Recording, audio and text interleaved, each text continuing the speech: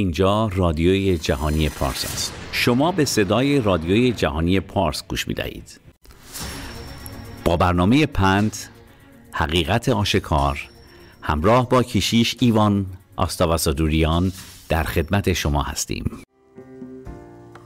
به خداوند پدر آسمانی بگیم که به حضور اومدیم در این مکان مقدس که نام او رو برافرازیم. به او بگیم که او رو دوست داره که او بهترین ماست.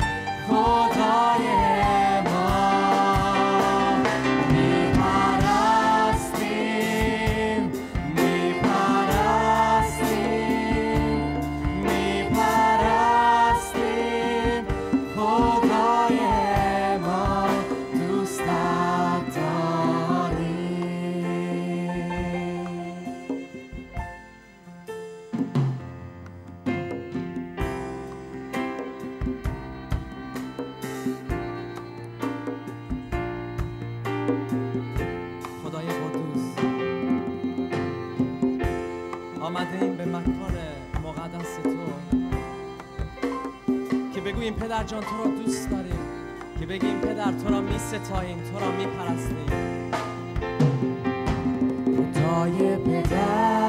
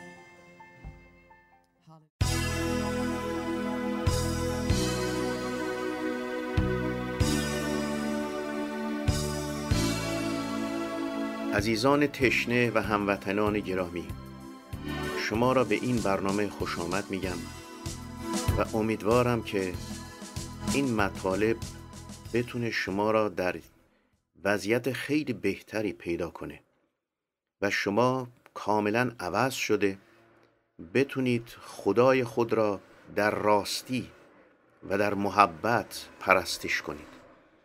ولی قبل از همه چیز عزیزان دعا کنیم و از درگاه خداوند بخواهیم که ما را با اون شبان نیکو که عیسی مسیح است معرفی کنه و ببینیم که این شبان نیکو چه محسناتی چه خاصیتی چه فرقی با دیگران داره.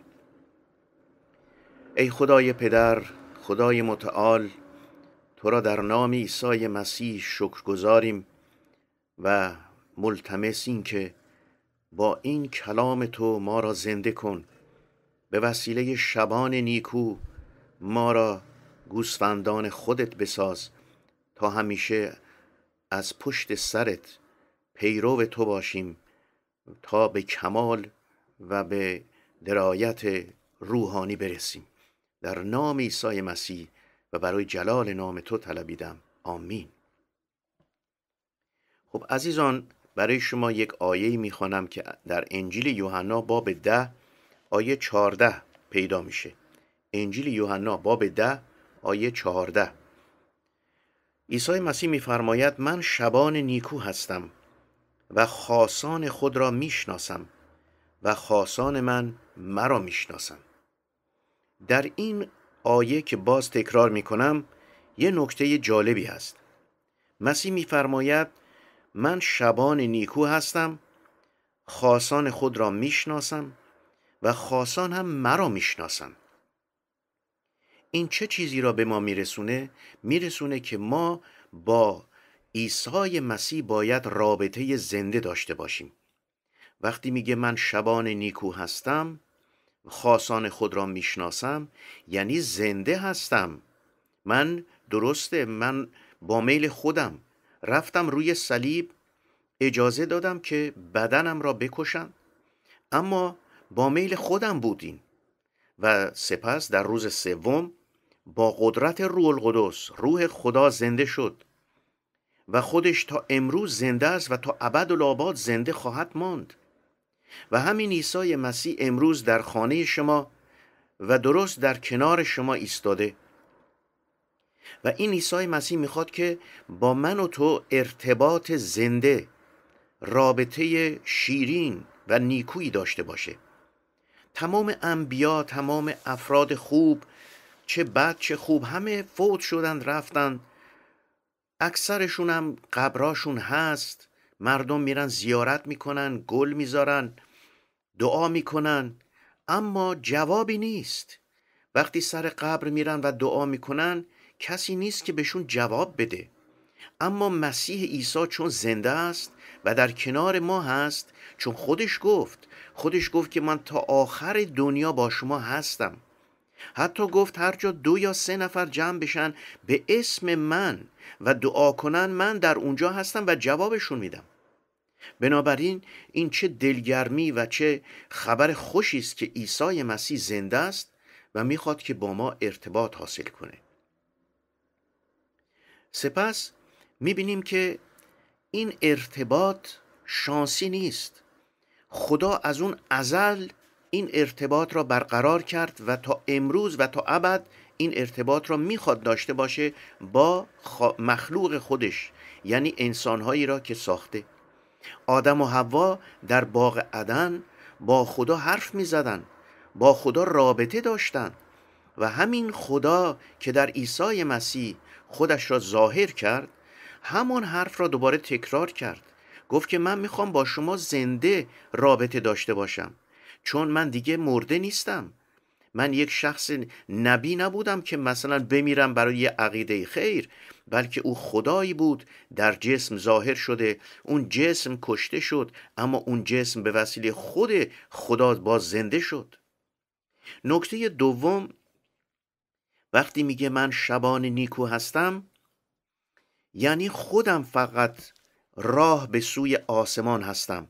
چون شبان نیکو عزیزان ما می‌دونیم که چوپانها در دهات گوسفندان را هدایت می‌کنن. به اونجایی که باید برن یعنی اشتباه نمی‌کنه. اون چوپان یا اون شبان هوای گوسفندانش را داره و هدایت می‌کنه. جاهای خوب و در آخر شب میاره به آقل و اونها را هدایت می‌کنه.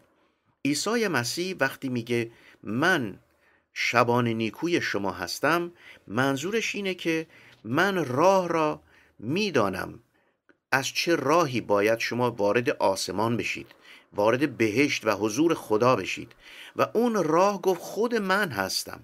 راهی دیگه وجود نداره. در انجیل یوحنا باب 14 عیسی مسیح می‌گوید دل شما مضطرب نشه. به خدا ایمان بیارید به من هم ایمان داشته باشید. در خانه پدر من پدر یعنی همون خدای متعال در خانه پدر من منزل بسیار است و الا به شما می‌گفتم می‌روم تا برای شما مکانی حاضر کنم و اگر بروم و از برای شما مکانی حاضر کنم باز میآیم و شما را برداشته با خود خواهم برد تا جایی که من می باشم شما نیز باشید. و جایی که من می‌روم می‌دانید و راه را می‌دانید. بعد یکی از شاگردان می‌پرسه ما چطور می‌تونیم این راه را؟ عیسی مسیح گفت من خودم اون راه هستم. من خودم حیات هستم. و من خودم اون راستی هستم یعنی من دروغ نمیگم به شما. و هیچ کس جز به وسیله من میگه به سوی پدر نمی‌تونه بیاد. بنابراین وقتی میگه من شبان نیکو هستم منظورش اینه که من اون راهی هستم که دنبال من باید بیایید. سوم شبان نیکو هستم. چرا؟ برای اینکه شبان نیکو همیشه پیشا پیش گوسفندان میره. و گوسفندان را هدایت می‌کنه. و از, از جلو از پیش میره یعنی اینکه من در همه چیز اول نمونه میشم برای شما. منظور مسیح اینه. وقتی میگه من پیشا پیش شما میرم یعنی و شما از عقب من میایید منظور اینه که من در هر زمینه اول نمونه میشم بعد به شما میگم این کار را بکنید. نه مثل بعضی از انبیا که فقط دستور دادن که آقا خوب باش و نیکو باش. اما خودش چی بوده؟ خدا می‌دونه. اما عیسی مسیح پیشا پیش گوسفندان نمونه شد. عیسی مسیح نمونه شد در فروتنی در خدمت در فداکاری در محبت در دعا در ایمان حتی در قیام. او اول نمونه شد. گفت ببینید همونطور که مرده زنده نمیشه ولی من زنده شدم شما هم وقتی به من ایمان داشته باشید شما هم مثل من زنده خواهید شد. و در خدمت اومد واقعا همه را خدمت کرد. عیسی مسیح اومد فقط خدمت کنه نه خدمت کرده بشه. خدمت او این بود که گناهکاران را میبخشید پاک می‌کرد مریضان را شفا می‌داد و کوران را بینا می‌کرد دیوانگان و مسروعان را آزاد می‌کرد از این قوت شریر از این قدرت شریرانه و در محبت نمونه شد خود را فدا کرد. آمد تمام بار گناهان ما را بر خودش گرفت و گفت که من اومدم تا گم شده را بجویم و نجات بدم. در دعا نمونه شد عیسی مسیح گاهی شبانه تمام شب را در دعا به سر می برد. در فروتنی نمونه شد. با اشکها در باغ جتسیمانی دعا می کرد و گفت ای پدر نه به اراده من بلکه به اراده تو. این در فروتنی برای ما نمونه گذاشت. پس در فروتنی در خدمت در فداکاری روی صلیب در محبت در شلاها در توهینها محبت نشون داد. در دعا تمام شب و در ایمان او در ایمان نمونه شد. بادها را ساکت کرد طوفانها را ساکت کرد دریای طوفانی را آرام کرد. طبیعت را به زانو در آورد و خیلی کارهای محیر العقول انجام داد. روی آب راه می‌رفت و نشون داد که من در ایمان نمونه شدم و گفت شما هم مثل من ایمان داشته باشید. بنابراین عیسی مسیح وقتی میگه من شبان نیکو هستم منظور اینه که ما که گوسفندانش هستیم باید پیرو او باشیم. باید از او درس یاد بگیریم. مرجع تقلید ما انسان ها نیستن عزیزان. مرجع تقلید ما خود خداست که در عیسی مسیح ظاهر شده و از این بهتر دیگه ما چی می‌خواهیم؟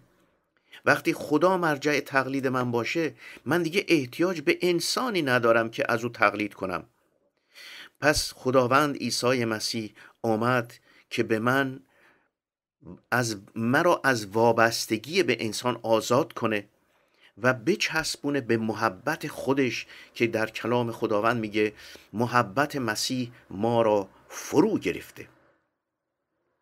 شبان نیکوست برای اینکه جان خود را فدای گوسفندان کرد نه بالعکس. خیلی افراد خوب آمدن به این دنیا و یک عقیده ای را بیان کردند و شروع کردند به انقلاب و خیلی ها را باعث کشته شدن شدن. خیلی ها را قربانی فلسفه خودشون کردن. خیلی ها را فدای خودشون کردن. ولی خودشون را در آرامش و در امنیت نگه داشتن. خیلی امروز هم دیکتاتورهایی هستند که خودشون را در امنیت نگه میدارند و دیگران را به جبه ها میفرستند و گوشت جلوی توپ درست می‌کنن. اما عیسی مسیح این کار را نکرد. عیسی مسیح اومد خودش فدا شد و گفت من فدا میشم که شما آزاد بشید که شما نمیرید. گفت من دارم میمیرم که شما دیگه نمیرید. عیسی مسیح گفت هر کس به من ایمان داشته باشه اگر مرده باشه زنده میشه و اگر زنده باشه تا ابدالآباد این نخواهد مرد. چه وعده خوبی چه واقعا حرف خوشحال کننده ای که انسان را به وجد میاره. انسان ناامیده. انسان وقتی ناامیده وقتی زیر ظلم وقتی زیر بیعدالتی خیال می‌کنه با کشته شدن می‌تونه این ظلم ها و این بیعدالتی ها را تموم کنه. اما اینجور نیست. این شبان نیکو چنان قدرتی داره. که به ما اون قدرت را میده که ما با دعا در مقابل تمام ارواح شریر می ایستیم و مقاومت می کنیم در بازوان و در کنار خود خداوند عیسی مسیح ما ایستاده با دشمن می جنگیم دشمن شکست خورده. دشمن یعنی ارواح شریر. عزیزان انسان ها دشمن من و شما نیستند. این را خوب بدونید. جنگ ما با انسان ها نیست. ما افراد انقلابی تربیت نمی کنیم ما افراد انقلاب روحانی تربیت می کنیم یعنی چه؟ یعنی کسانی که مثل عیسی مسیح ایستاد جلوی پیلاتوس و گفت من پادشاه هستم اما نه از این دنیا. جلوی پیلاتوس ایستاد و نترسید و گفت که من همون خدایی هستم که روی کره زمین آمدم. من همون خدای واحدی هستم که آمدم انسانها را نجات بدم که پیلاتوس لرزید و ترسید. ما انقلاب روحانی میاریم مثل پتروس مثل پولس که ایستادن جلوی پادشاهان جلوی رؤسا جلوی رؤسای مملکت و با محبت بیان کردند حرفاشون زدند. نه با دعوا نه با جنگ و جدال بلکه با محبت با فروتنی و امپراتوری ها را به زانو در آوردن با محبت تمام دیوارهای سنگی را شکستند. بله محبت خیلی قدرت داره عزیزان و شبان نیکو این محبت را به ما میده. شبان نیکو برای گوسفندان خودش شفاعت می‌کنه چون که او زنده است امروز برای من و شما اون شفیه در آسمان شما فقط عیسی مسیح را دارید که برای شما شفاعت کنه.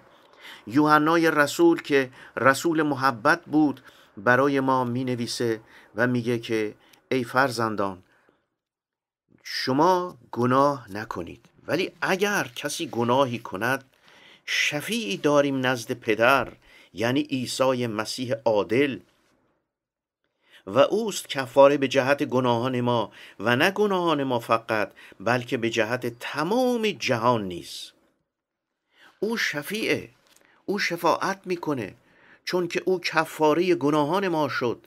یعنی برای اینکه ما بمیریم اون جان داد اون کفاره شد اون فدا شد و امروز ما را درک می‌کنه. اون پیشا پیش تمام این تجربیاتی که شما و من الان درش هستیم اون می‌دونه و می‌تونه شما را نجات بده. فقط امروز بیایید دعا کنیم. شما هم همینطور تصمیم بگیرید که همین دعا را با بنده انجام بدید و با هم بگیم که ای خداوند ای خدای حی از تو متشکریم که عیسی مسیح را به ما دادی که او رب بالای صلیب و برای ما نمونه شد. او تمام غم و غصه های ما را بر خودش گرفت. او تمام گناهان ما را بر خود گرفت و ما را آزاد کرد. و امروز ما می‌خواهیم که خداوندا عیسی مسیح بیا تو قلب من و جا بگیره و سلطنت بکنه و من پیرو او باشم تا ابدالآباد. زیرا به نام عیسی مسیح و برای جلال نام تو طلبیدم. آمین. گر از گناه آزادی می‌خواهی؟ در خونه ایسا این قدرت هست. گر بر شیطان تسلط می‌خواهی در خونه ایسا قدرت هست. قدرتیست بی حد معجزاسا در خونه مسیحا قدرتیست بی حد معجزاسا در خونه بره خدا. گر از غرور آزادی می‌خواهی در خونه پاکش این قدرت است. از عادات زشت آزادی یابی در خونه ایسا قدرت است. قدرتیست بی حد معجزاسا در خونه مسیحا قدرتیست بی حد معجزاسا در خونه بره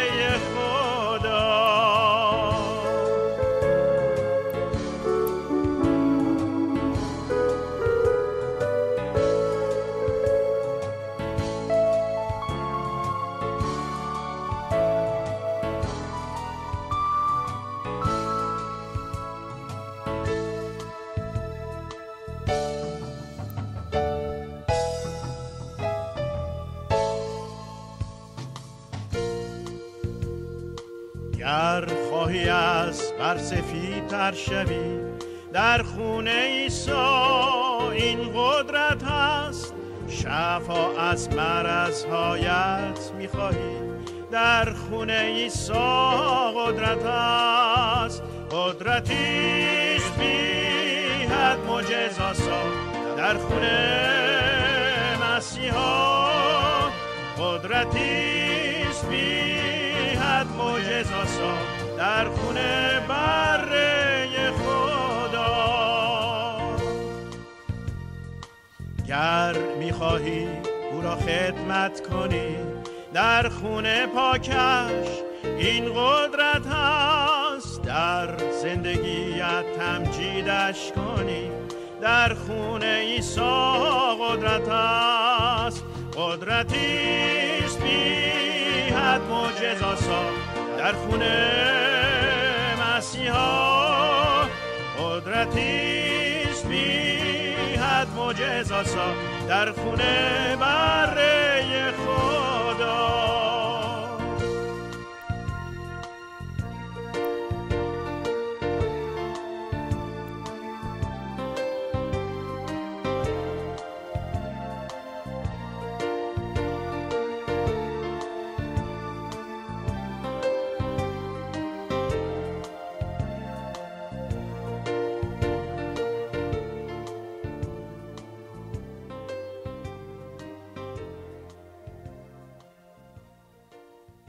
امیدواریم که این برنامه پند حقیقت آشکار باعث برکت شما شده باشه.